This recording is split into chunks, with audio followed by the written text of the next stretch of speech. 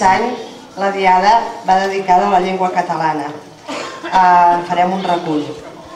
El canvi del llatí al català va ser lent i gradual, gairebé imperceptible. Cap generació no tingué la sensació de parlar una llengua diferent a les dels seus antecessors. És doncs impossible de dir en quin moment comença la història de la llengua catalana. Podem distingir tres grans èpoques a la de la llengua i la literatura catalanes, el període nacional fins a la fi del segle XV, la decadència, segle XVI, XVII i XVIII, i la renaixença en el segon i, de, i darrer terços del segle passat i en el present, a l'edat mitjana. Catalunya i Terres Germanes formaven un país independent. El castellà, mai anomenat espanyol en aquell temps, sorgeix en els documents al mateix temps que la nostra llengua. El castellà no era emprat, ni tan sols conegut en el territori de la llengua catalana. Aquestes terres pertanyien a l'anomenada Corona d'Aragó. De fet, s'hauria de dir Corona de Catalunya, país dominant en la Confederació i així identificat a l'estranger, en el qual el català era la llengua parlada del 85% de la població i l'usual a les parts més riques i actives, incloent-hi la capital, Barcelona, on els reis vivien més temps que enlloc. El rival del català en aquest temps no era el castellà, sinó la llengua d'or.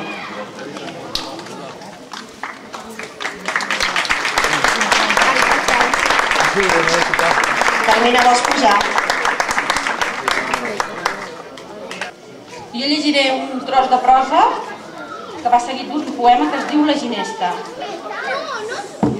Com és que no hi ha ginesta en aquesta clotada a la, i a l'altre vessant sí? Vaig preguntar no fa gaire. I mig rient van respondre'm és que la ginesta vol veure el mar. Ah, la ginesta vol veure el mar? I de seguida vaig pensar, doncs què és Catalunya?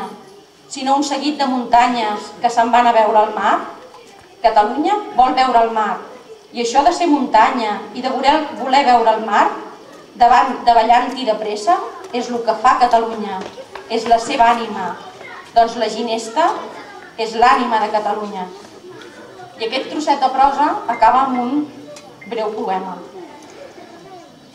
Floriu, floriu, ginesteres, dalt dels mons, davant del mar, enceneu-se com fogueres, al sagrat de cada llar. Les fogueres catalanes ja flamegen dalt del cim, són les flames sobiranes d'aquell foc que tots tenim. Per la costa, a grans exteses, tot el ginestar fa llum, les candeles són enceses, tot és flaire i sense fum. Una llum que llença flaire des dels mons avall del mar i de l'aire fa el nostre aire, que és tan bo de respirar. En la flor de la ginesta, Catalunya m'ha parlat. M'ha parlat de la gran festa de la nostra llibertat.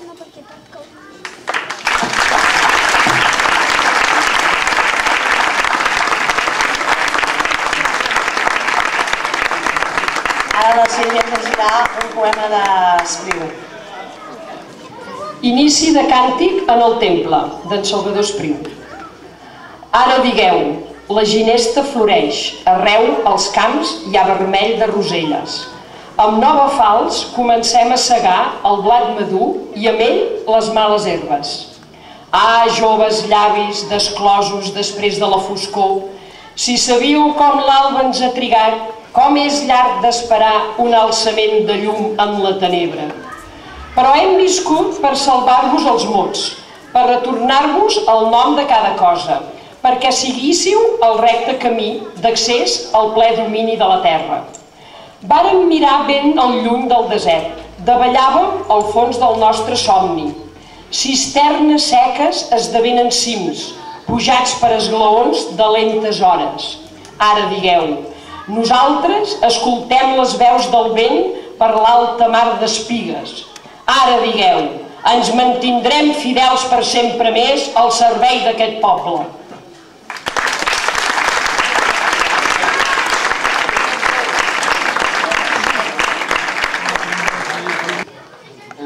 és la, una declaració institucional que hem fet i que és una declaració especial que hem fet en comú els 28 pobles que conformem la comarca del Baix Camp. I llavors l'hem fet eh, posant-se d'acord tots i tots els pobles farem la mateixa declaració.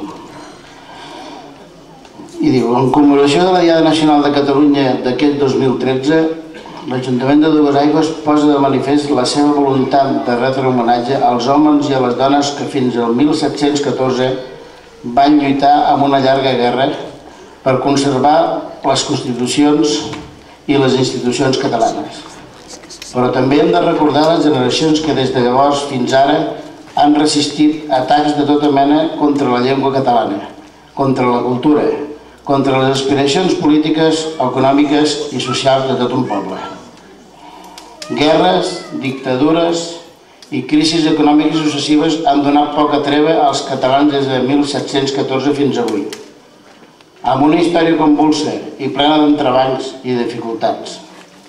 Per això és just recordar que si encara conservem la nostra identitat és gràcies a milers d'homes i dones que a la llarg dels segles l'han feta perdurar amb memòria, tossuderia, voluntat, esforç i treball i ens hem deixat aquest llegat.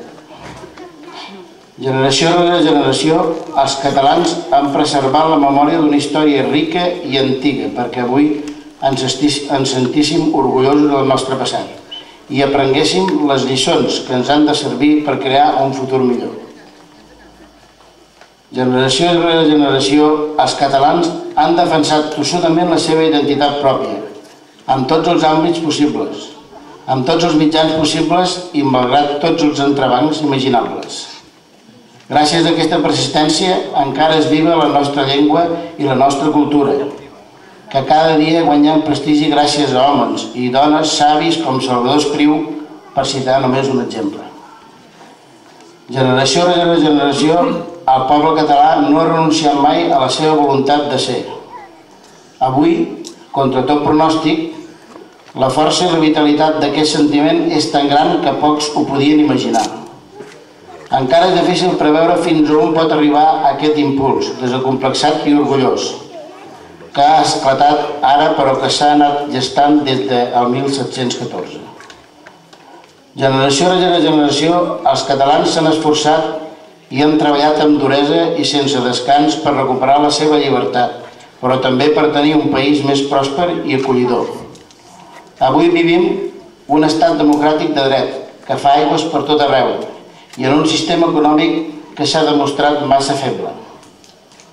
Per tot això, avui els catalans i les catalanes demanem sense por un replantejament a fons dels estatuts polític que tenim i del sistema econòmic i social que se'n deriva. Fruit d'aquesta inquietud és que un 80% de la població de Catalunya ha expressat la seva voluntat de decidir lliurement i sobirana el seu futur com a poble. D'acord amb aquesta voluntat majoritària, El Parlament va aprovar el gener d'aquest any la Declaració de Sobirania i del dret a decidir del poble de Catalunya, sota els principis de sobirania, legitimitat democràtica, transparència, diàleg, cohesió social, europeisme, legalitat. El paper principal del Parlament de Catalunya i la participació del món local i del màxim de forces polítiques, d'agents econòmics i socials i d'entitats culturals i cíviques de Catalunya. L'Ajuntament de Dues Aigües, com a ens local, se sent compromès amb el territori i amb aquesta voluntat de ciutadania i es posa al servei del Parlament i del Govern de la Generalitat per contribuir, en la mesura de les seves possibilitats, a fer possible l'exercici del dret a decidir del poble català. Dues Aigües, setembre del 2013.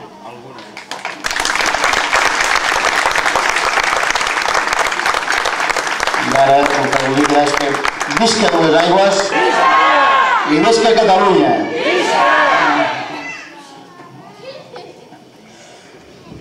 Dues Aigües, la revista, vol donar l'acte per finalitzat amb el cant dels segadors que interpretaran ara els grellers de Dues Aigües, els que volem agrair molt la seva voluntat i volem agrair també a totes les persones que heu col·laborat tant a col·locar com a encendre i heu volgut assistir a aquest acte que hem fet conjuntament amb, amb l'Ajuntament. Bawa.